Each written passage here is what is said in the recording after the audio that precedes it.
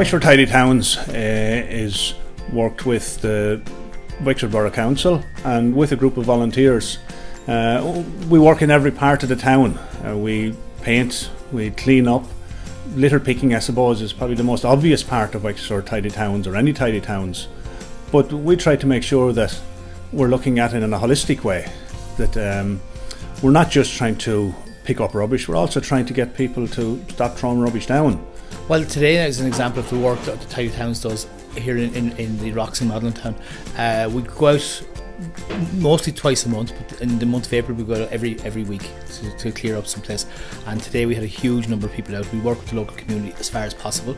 And today we had the St Mary's in Maudlintown Football Club, and they came out in their droves. So we had a really big number, and I just got figures back there now. We've got 250 bags of rubbish, plus half a ton of miscellaneous items, steel and pieces of rubbish generally. A lot of household rubbish there, and also a lot of drink cans. With cutbacks in public services and so on, uh, we're never going to have people to be able to do this, this kind of thing in the future. So we need people to take control of their own areas, look after their own places, and this is what we're seeing today. We need people to do that, and that's that's going, it's going to be the future.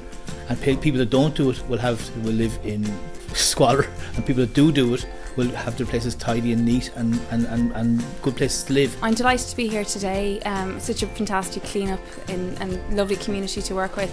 Um, I'm with An Taisce and this area, the Borough Council has been designated as a green community since 2011 um, because of the, the great work that they're doing here and their interaction between the actual people that work here and, and live here and the, the businesses and the local Borough Council that have been quite helpful all along the way.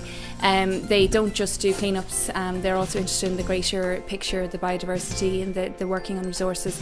They've talks on um, energy conservation, on waste management, and um, they have this year they have a new biodiversity. I've just heard today that a new biodiversity uh, subgroup um, looking at the coastline um, and looking at the natural heritage that is here. So um, it's a great community to work with. Wexford, a beautiful place to come to, a beautiful place to live and lovely to, to visit. So thanks to these guys for keeping it, keeping it that way.